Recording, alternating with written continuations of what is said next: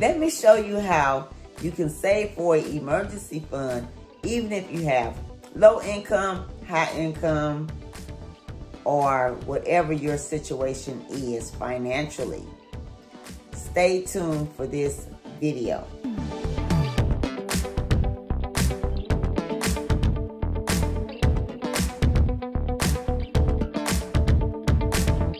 Hello everyone, welcome to my channel. Welcome to another video. Thank you, thank you for stopping by. Wanda is my name and saving money is my game. If you're not saving for emergencies, let's make it yours too. Let's save more in 2024. Let's save more money in 2024 and we'll be glad that we did. And I'm asking if you would subscribe to this channel, click the thumbs up button, drop me a comment and let me know what do you think of this video. Is it helpful? Is it a great idea? I'm very curious to know. And would you share this video because there may be someone that can use this content also. And would you click the notification bell so you may be notified every time I upload a new video. I want to say thank you for being here. Welcome to everyone, and I hope everyone is doing well. On this channel, we are a community of savers. What are we saving? Saving for emergency. And why are we saving for emergency? Because it is important. They come and they can't be avoided. And we want to be ready when they come. We want to have some money to tap into when these emergencies come.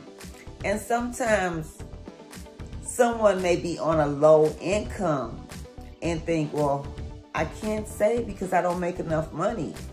And there are people on a high income or not saving, not because they can't.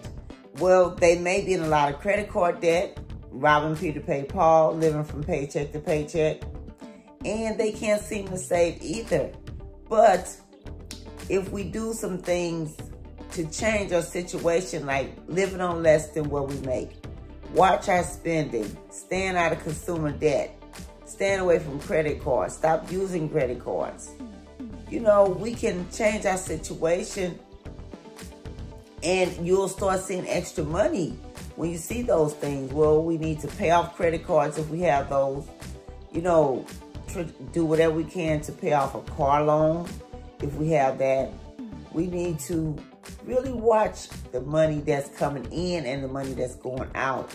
And these are things that can help us to be able to put away money. And if you're not making enough money, what you what would be a good idea is to increase your income by getting a side hustle. There's lots of ways to make extra money.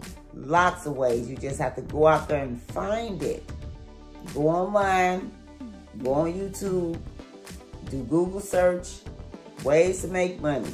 At home, online, on my phone, and they're out there. And some of them you can do while you're just sitting right at home. So that's what we need to do. And and I'm encourage you, join me in the, the savings challenges if you're not saving any money. It could really, really help your situation.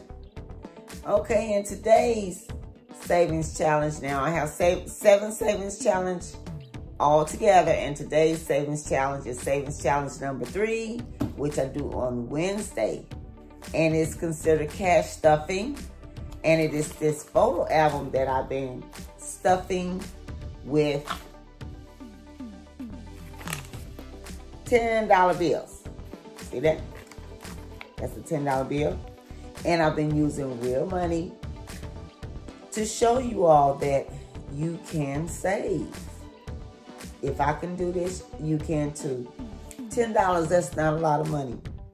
When we get some money, we should take out $10 for this savings challenge and find something like this photo album, which I got this at Dollar Tree um, for $1.25. And this is not a sponsored video. But I was in there looking for some other supplies and I saw this and I thought, oh, that would be good for cash stuffing. I didn't know what I was going to do with it. But then it came to my mind to stuff it with $10 bills. Now, this photo album has 500 pages. Not 500. 50 pages. And when they're all stuffed with $10 bills, it will equal up to $500. which is half of our $1,000 emergency fund that we need to have in case of emergency, in case we have a emergency up to a $1,000. Okay, now, like I said, that will cover emergency up to a $1,000, but we don't want to stop there. We want to continue to save until we get three to six months of our expenses. That way, if there's a job loss, home repair, car repair, medical bills, etc., we'll have money to tap into. And we want to have good behavior with money, okay?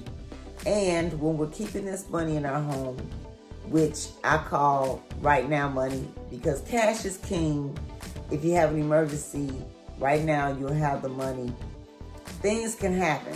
We don't plan on it just like uh, a few days ago. I had to go to one bank and I was going to transfer some money from one bank to another. Well, the network was down.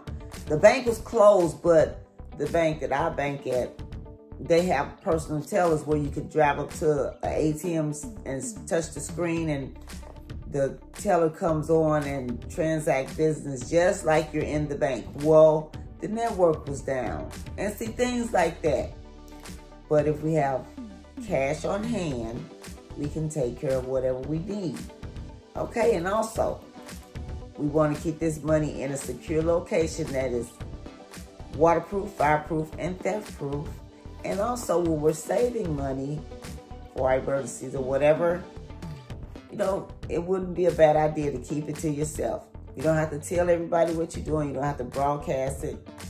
I was just watching a video yesterday of a well-known, famous singer, well-known, famous singer, how she went broke because of letting people take advantage of her. Well, they knew she had the money. You know, it's okay to say no. It's okay. Now, you know, if somebody's in need for us being hungry or something like that, that's one thing. But she was being taken advantage of and she went broke. Um, and I'm just going to leave it at that. I'm not going to say who she was. But anyway, so yeah, this money that we're saving is for emergencies only. Your emergency. Okay? And just like you can save for emergency, everybody else can save for their emergency. All right, so let me go ahead and count this and show you how much I've saved since the beginning of 2000, January 2024. 10, 20, 30, 40, 50, 60, 70, 80, 90, 100, 10, 20, 30, 40,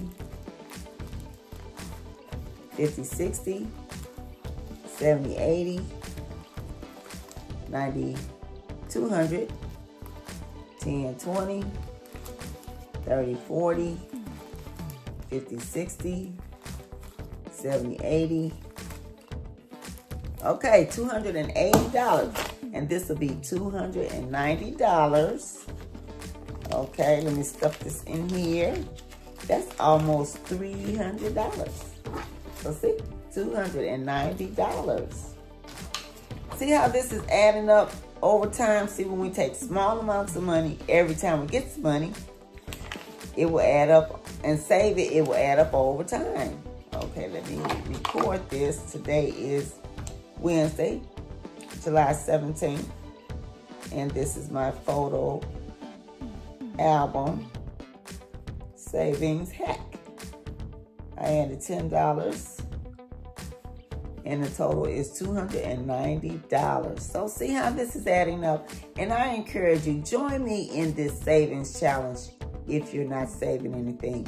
If you get paid once a month, it's four weeks in a month typically. So that's $40 a month. If you get paid every two weeks, that's $20 every, every two weeks, okay? If you get paid once a week, that's $10. And you can start with that. And you don't have to just stuff one page. You can stuff more pages. Or you can find a photo album that has more pages. The more pages, the more money you can stuff. Okay, but this was just something I saw to um, to show you all you can still save no matter what your income is with small amounts of money. All right. All right. So I hope this video was helpful. I hope you got some value out of this and I hope something that was said to help you. I want to say thank you for joining me. Thank you for stopping by. I'll catch you in the next video and happy savings.